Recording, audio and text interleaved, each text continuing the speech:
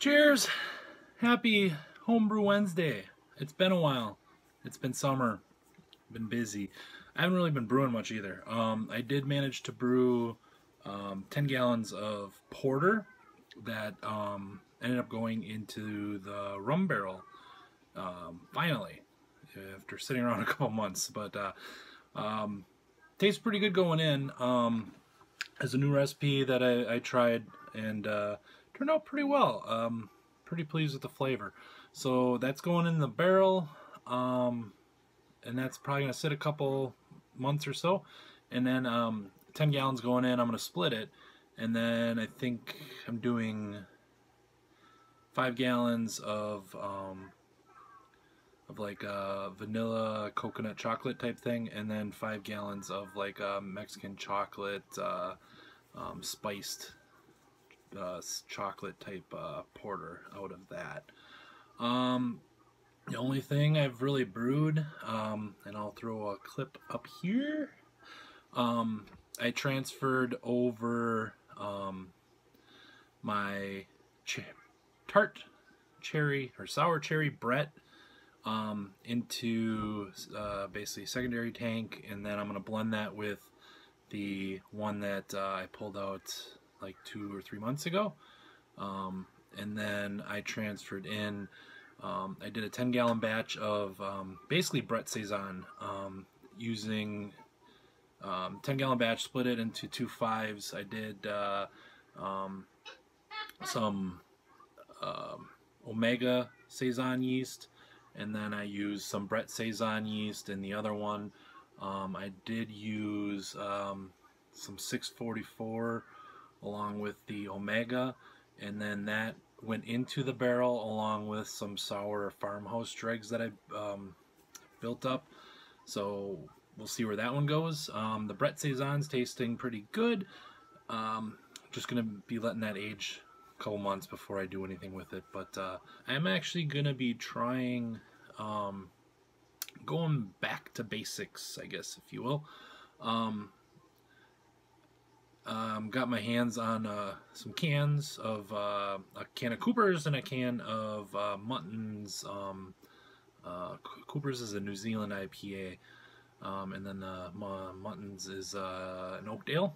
So um, that one I got at NHC at the end of the conference. So I'm going to be um, probably throwing those down pretty quick here and shooting some video, kind of flashback, you know, what is it, eight years later, um, seeing if I learn anything and do anything different than I did when I first started out brewing.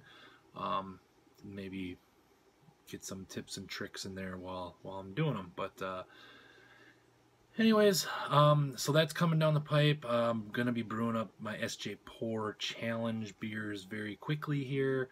Um, I got to brew two like right away, so um, it's going to be a little more challenge. Um, usually you just brew one and you're good for two rounds. Now you got to brew two for two rounds. So, um, so I'll be getting those down pretty soon. then I got a Hefeweizen BSG kit um, that I'll be making two here in the near future. So, so I actually have a couple extract videos that'll probably be coming out um, next. But uh, but it'll be cool. I'm looking forward to trying them. I'm looking forward to kind of going, like I said, back to basics and, and see if I learned or if I do anything different than I did the first time around when I first started making videos.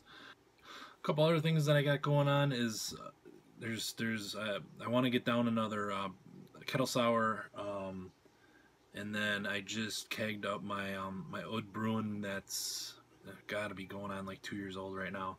So that's uh, in keg carbonate, and then I'm gonna bottle that and um, see how that turns out. um, I did add some cherry juice in it, so um, hopefully uh, hopefully it'll have a nice cherry flavor in it when uh, when it's all said and done.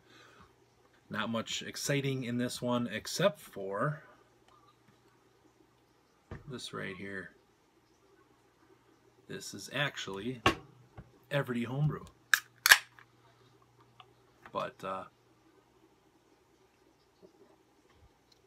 pretty excited to play with this. Um, been eyeing it up for a while. I know Lou Brew's been eyeing them up for a while too. But um, there's a place just north of me, about a half an hour, that um, was at NHC, and they had a, a canner sealer machine um, and cans, and it's right down the road for me. So um, that's new, and uh, I'm playing with it right now. Um, I kind of did it started an unboxing video, um, but I think I'll be playing with this a little bit and uh, looking on on the internet. There wasn't a whole lot of information on this um, machine at all, so I think I'm gonna kind of do some videos as I'm learning, um, swapping out from 16 to 12 ounce cans, um, maintaining. There's a whole bunch of um, lube or oil points, and you gotta um, put some grease in the, the gearbox and stuff. So there's some maintaining stuff. There's um, um, some other stuff that uh, I think I'll end up shooting videos for and then sharing it with the YouTubes. But I'm excited about that. That's pretty cool. I think it'll definitely make um, beer mail a whole lot easier.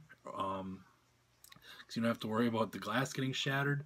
Um, they had asked me about doing a um, a test on pressurizing these cans. Um, Oskar Blues said that they can hold up to like 90 psi.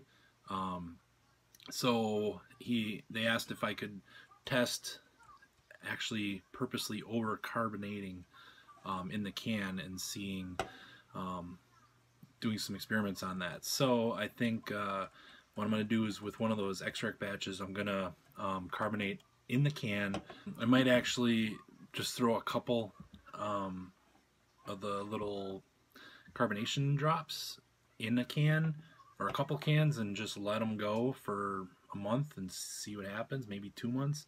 Um, it'd be kind of cool to see if uh, maybe I can reach out to one of the local breweries and actually uh, somehow test to see what the pressure is inside of them. But um, they said they, they won't leak up to 90% or 90 psi as long as you have the, the seal on there. They're the same company that makes the crowler machine, so at least you know uh, it's a reputable sealer. But yeah, so I'm pretty stoked. It's uh, stay tuned for some canning videos. Yeah. Other than that, I'm working on a review for the um, the Bouncer Pro. Um, it's the bigger one. Um, I know Nate got uh, the smaller one. And I think uh, Josh Hoover, uh, Man Bear Pig, got um, got a smaller one as well.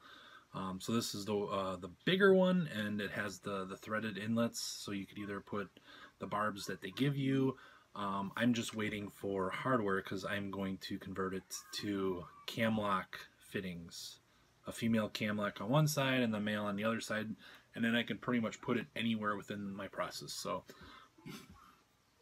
so I'll be playing with that and then shooting some um, some review videos on that as well. So, um, so that's kind of what's going on here at Everty home brewing. Not not not any crazy brewing excitement, but uh, but I'm still around, just enjoying summer and kind of taking a, a break before. Uh, getting back into some uh, video editing and, and stuff like that. So so stick around. I'll be uh, I'll be back at it here shortly. Um, obviously, you can see that there's new stuff that I'll be uh, putting out here shortly. So um, thanks for uh, watching. Hope everybody's having a great summer. Um, and I will be checking in with you guys soon. So cheers.